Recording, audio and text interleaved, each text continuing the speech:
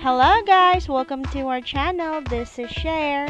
So today wala po si Kuya pero gagawa tayo ng Valenciana. So of course, kailangan natin ng liver. And then kailangan merong bell pepper, may onion, may garlic, and then yung pork, raisin. And then yung gagawin po natin is kailangan natin pakuluan yung pork hanggang sa magmantika at magpula na. And then, saka natin igigisa yung garlic saka yung onion. And then, pagkatapos niyan, um, yung water, kung gaano kadami yung malapit ninyo, say for example, isang kilo, yung isang kilo is 7 cups of, of malagkit and then 7 cups of And then, saka po natin ilagay yung liver. So, I don't use chicken liver kasi nga mag-liver. So, wala kami hinihandang manok.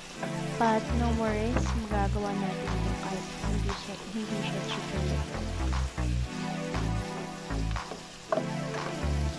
Right after the gisa, then huhugasan na natin yung uh, malagkit. And then, of course, lalagyan natin siya ng food color. Yung food color ko po is yellow.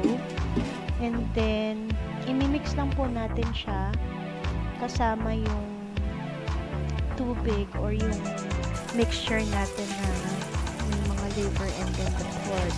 So, from here, ilalagay ko na din yung raisin or yung pasas uh, and then yung green peas.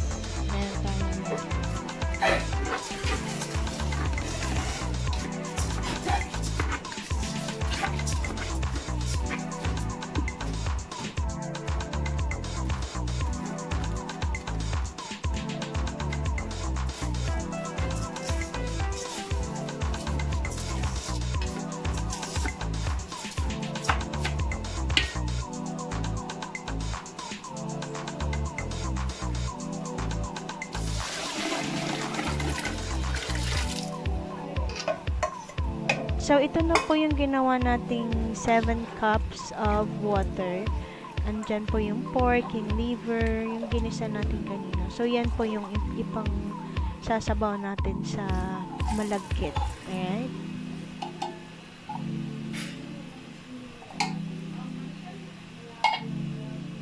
Alright, so pwede na po natin siyang isalang since nailagay na natin lahat ng mga ingredients hanggang sa kumulo po and then ipa-fire off po, na, po muna natin para hindi siya uh, masunog. Okay? Guys, there you have it for today's video. This is Aros Valenciana. Well, guys, thank you so much for watching. And if you're new here, don't hesitate to click the subscribe button, hit like and comment down below. And of course, don't forget the bell so you'll get notified every time that I uploaded a new video. Thank you so much guys for watching. Have a good day. You take care. Bye.